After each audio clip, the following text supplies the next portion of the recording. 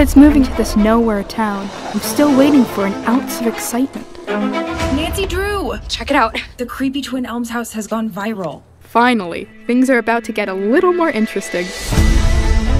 The legend dates back to 1885 when the Colfax brothers, who built Twin Elms, had a falling out over a woman.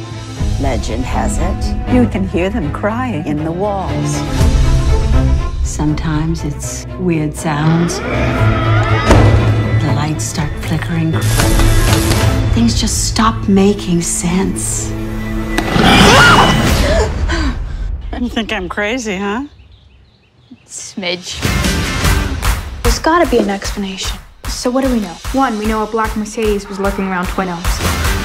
Two, we know somebody came in here and scared us half to death. And three, we know it felt insanely real.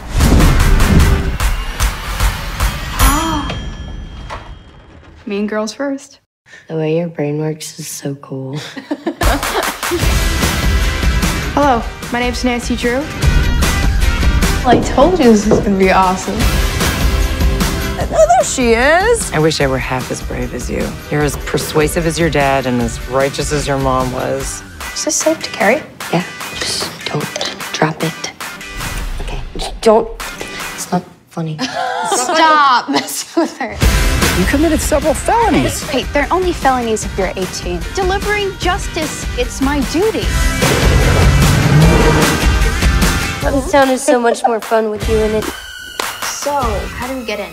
Well, I figured you knew how to pick a lock. Oh, now I'm public enemy number one? No, I just thought that. Seriously, Nance. You gonna pick the lock or what? Oh, yeah, totally.